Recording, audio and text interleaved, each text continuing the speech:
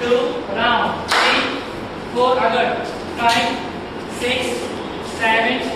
eight round three ten start one two circle three four આગળ right leg five six seven eight round three ten start one two circle three four five six seven, eight,